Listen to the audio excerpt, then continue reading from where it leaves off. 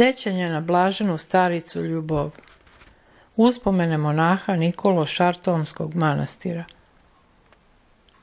Za Ljubušku sam prvi put saznao 1991. godine, kad sam već živeo u manastiru. Spremao sam se da završim neke poslove koji su mi preostali u Sankt Peterburgu i pred polazak sam otišao kod oca Mojsija, koji je tada bio manastirski duhovnik, da ga zamolim za molitve i blagoslov. Upravo on me i posavjetovao da u selu Sosanjinu potražim blaženu ljubav. U Petrogradu me isto to posavjetovao otac Nikolaj, koji služi na Volkovskom groblju, kako bih od nje saznao da li je volja Božja da živim u manastiru. U Sosanjinu je trebalo da otputujem rano ujutro električnim vozom s Vitebske železničke stanice u pravcu Virice. Putovao sam malo manje od sat vremena. U vozu se gurao narod, od vrata se osjećao duvan i dopirali su akordi gitare. Dan koji je počinjao bio je pun prodorne, hladne novembarske svetlosti koja se probijala iza niskih sivih oblaka. S druge strane prozora su se protezala jesenja polja s uvenulim različitim biljem koje je štrčalo duž živica nalik na glavice cveća, medveđe šapice u studenoj paučini inja. Osjećao sam blago uzbuđenje. Hoću li zateći majčicu i kakva je, možda je vrlo stroga, pa će u prisustvu svih početi da me razobličava i prekoreva zbog vetropirastog života i loših pomisli. Hram sam našao prilično lako. Pokazali su mi ga meštani koji su bili naviknuti na putnike. Ulazi se kroz nisku ogradu i čovjek se odjednom nađe kod visokih, skoro crnih jela koje čuvaju hram. Obična prigradska crkva od stare crvene cigle, u njoj je bilo prijatno i osjećala se neka prostota starine, što se posebno ogledalo u kivotima ukrašenim veštačkim cvećem. Savremene, novootvorene crkve nisu takve. Služba još nije bila počela, došao sam rano. S nemirom sam počeo da se zagledam u još uvijek malobrojne parohijane. Da li ću u nekoj od žena prepoznati ljubušku? Počeo sam bojažljivo da se raspitujem kod jedne bake, očigledno meštanke. Ispostavilo se da je baka razgovorna. Rekla je da je ljubuške, da ljubuške još uvijek nema. Doći će kasnije. A posle službe ću s njom moći da porazgovaram u crkvenjakovi kućici kod hrama. Dok smo razgovarali, pristiglo je još naroda. Aha, evo je, evo Ljubuške. Ispostavilo se da je Ljubuška veoma niska, povijena starica. Nosila je prostu haljinu i krzdenu kapu. Na glavi imala belu maramu, povezanu kao kod iskušenica, na kojoj se daleko isticao prednji kraj, sigurno kako bi se duboko sakrile oči koje su uvek gledale na dole. Pod ruke su vodile negovateljice, privodeći je ikonama ispred kojih se Ljubuška dugo zadržavala i počinjala je tužno nešto da im priča, kao svojim dobrim poznanicima, celivajući ih s vremena na vreme, često i glasno. Ljude kao da nije primećivala i skoro celu službu se molila naglas. Uostalom, reči se nisu mogle razabrati. To je pre bila neka tužbalica, ponekad svetla i tiha, ali istovremeno je to bila i smela molitva blagodarenja, što se moglo prepoznati po intonacijama koje su se menjale. Uopšte, Ljubuškina molitva je više posjećala na tiho gugutanje goluba. Često se mogao primetiti vrlo karakterističan gest koji je pratio molitvu. Počela bi brzo da pomera kaže prstom desne ruke po raširenom dlanu leve, kao da nešto čita ili kao da zapisuje – ili kao da prelistava stranice koje samo ona zna i vidi. Ponekad kao da je počinjala da pljuje na levu stranu i kao da je brisala nevidljivi ispljuvak nogom, braneći se pritom rukom od nekog nevidljivog i gnevno nešto govoreći svojim krotkim i tihim golubijim glasom, kao da se trudila da otera dosadnog nametljivica. U hramu na majčicu niko nije posebno obraćao pažnju. Očigledno je da su se već odavno navikli. Stariji sveštenik, sed i prilično krupan, dostojanstvenog izgleda, služio je melodično, izgovarajući određene vozglase staromodnom, veoma patetičnom intonacijom. Za zdravlje i za pokoj duše pominjao je dugo, mnogo, usrdno, čas brzo čitajući imena, čas melodično i tužno otežući neka od njih. Hor, pretežno ženski, pod rukovodstvom starije visoke monahinje u punoj monaškoj spremi, odgovarao je glasno i nepreterano skladno. Bilo je očigledno da su pojice vrlo zadovoljni sobom i da se trude i sve snage. S vremena na vreme sam kradomice pogledao Ljubušku. Ona je bila potpuno pogružena u molitvu i u radnje koje su pratile ovu molitvu, a koje ja nisam baš najbolje razumeo. Kad je sveštenik izašao da ispoveda, ona se pred njim kratko ispovedila, zatim se pričestila svetim tajnama. Posle pričešća je također stajala u desnoj strani hrama, kao i za vreme službe, ali se već pokatkad osmehivala u odgovor na osmehe ljudi koji su joj prilazili, koji su očigledno bivali ovde i koji su se s njom osjećali prilično slobodnima. Sačekao sam da odvedu Ljubušku crkvenjakovu kućicu u koju su krenuli njeni posetioci koji su tog dana bili malobrojni. Crkvenjakova kućica je bila prostorija koja se nalazila tik uz pripratu hrama. U nju su vodila i vrata tapacirana perkalinom. Pokucao sam i ušao. Ispostavilo se da je crkvenjakova kućica prilično prostrana – s visokim plafonom, s peći u uglu i sa starim nameštajem.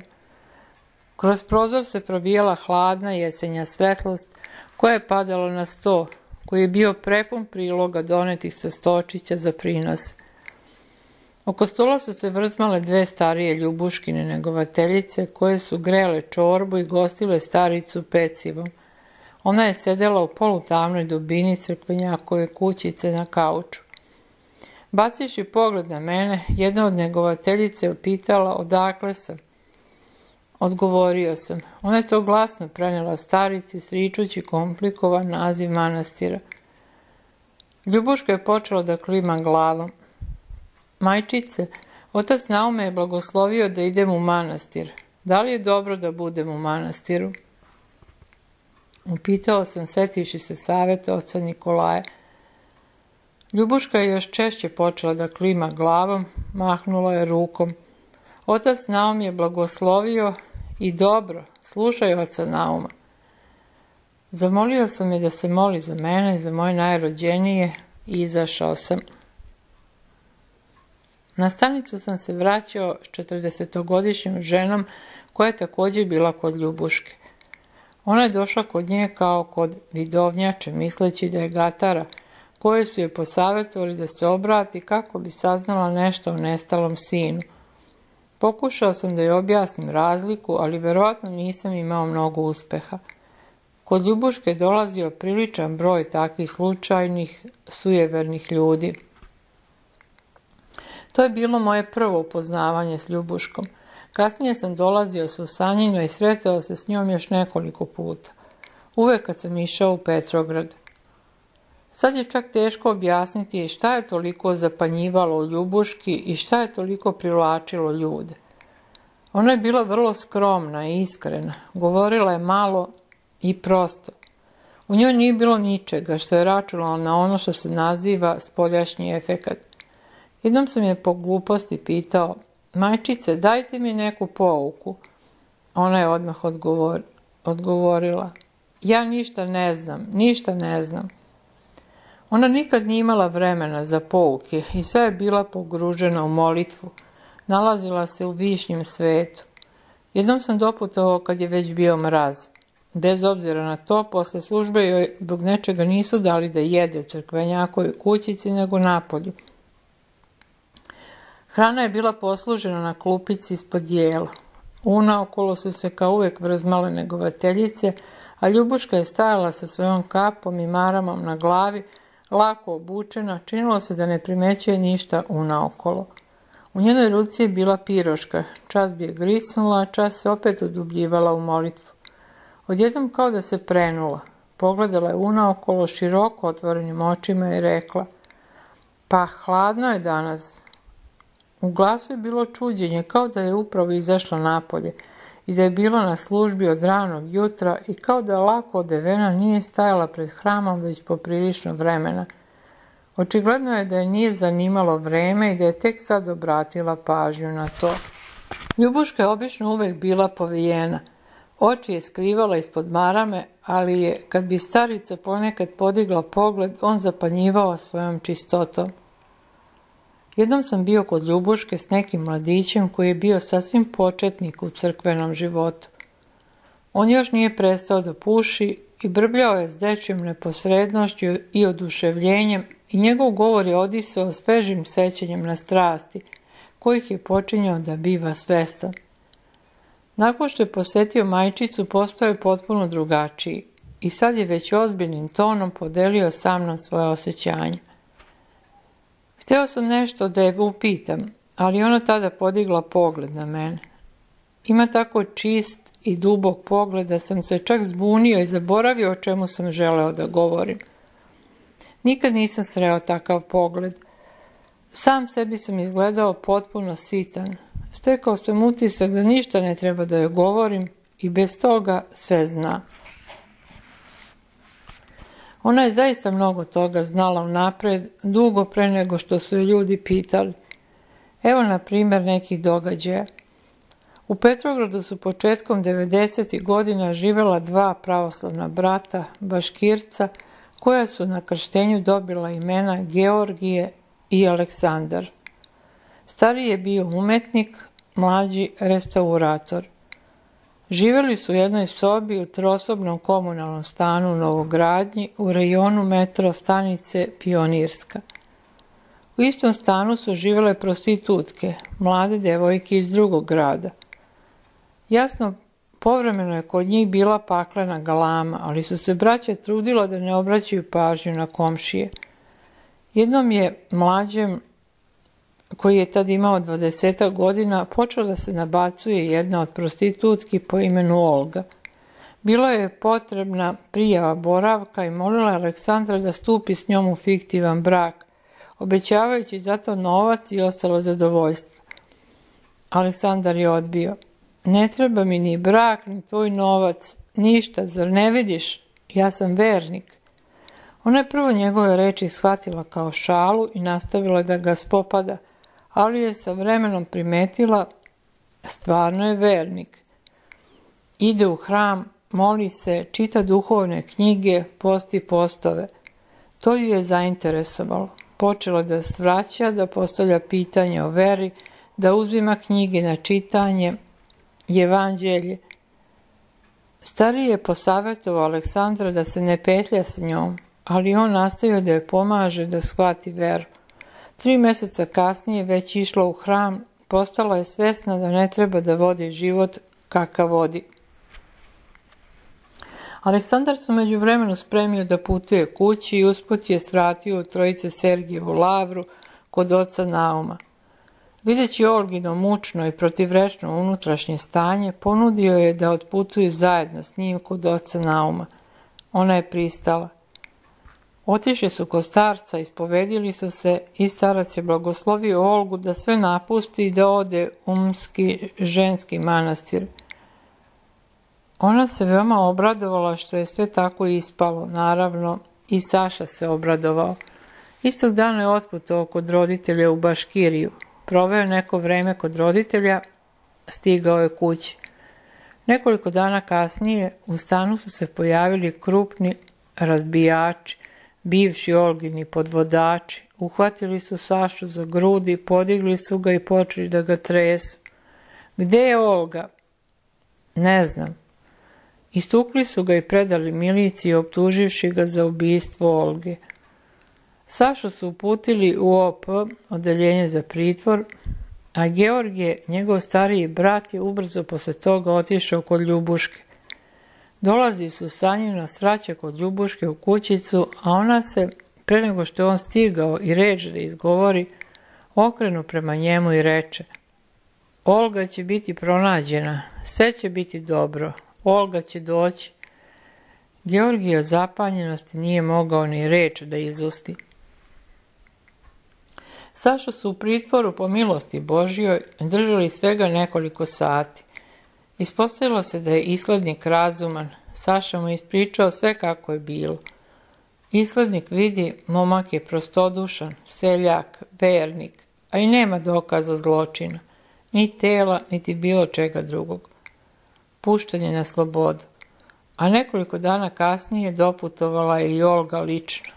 Ispostavilo se da nije u M, već negdje u Kareliji, u ženskom manastiru. Kad je bila ko starca sljedećeg dana posle Sašinog odlaska, došla je gumanijevog manastira i starac je blagoslovio Olgu da putuje s njom. U manastiru je se veoma svidjelo i odlučila je da tamo ostane.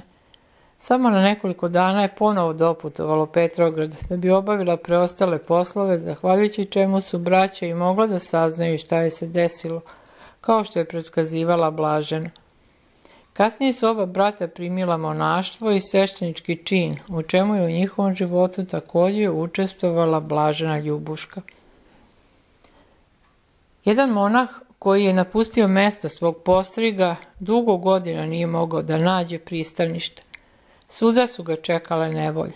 Često je nailazio na neprijateljski odnos prema sebi, a osim toga imao je težak, svadljiv karakter – i jaku naviku na strasti koje je stekao još u svetskom životu.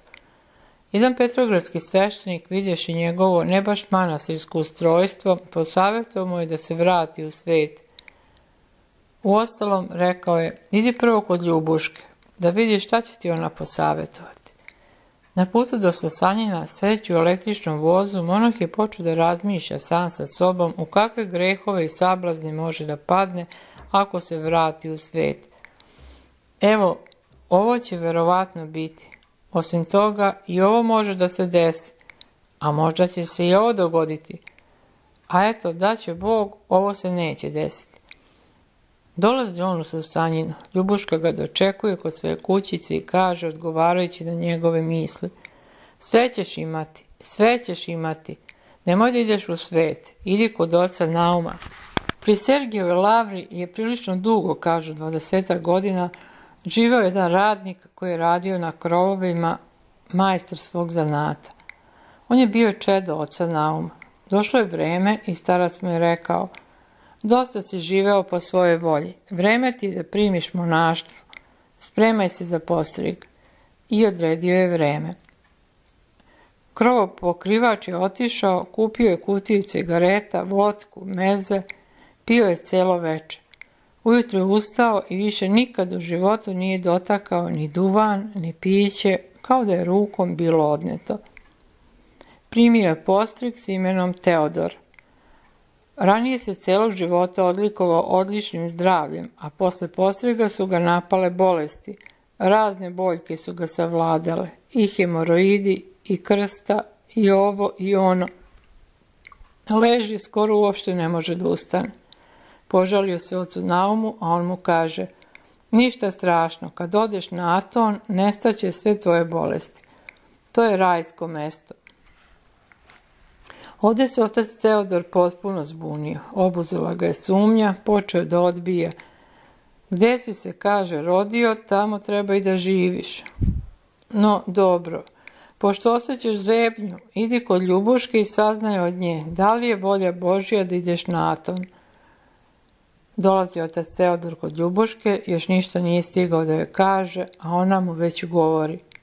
Blaženi vi koji idete na to on po blagoslovu.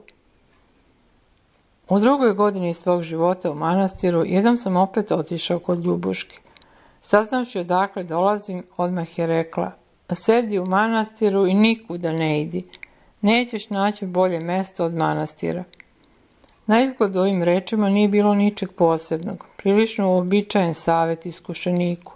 Međutim, njihovu vrednost osjećam sve do sada, one su me više puta okrepljivale u raznim iskušenjima. Posebno su bile blagovremene u vreme kad su izgovorene. U pomislima sam odlazio čas na valam, čas u parohiju. Mati je odgovorila na moje neizrečene sumnje. Posle ove pouke okolnosti su bile takve da zaista dugo vremena praktično nikuda nisam izlazio iz manastira, čak ni u lavru. Postepeno smo sve bliže i više upoznavali matušku. Veoma nas je zanimalo njeno žitije, kako je provela svoje mlade godine. Bilo nam je dragoceno sve što je imalo veze s njom, čak i sitni detalji.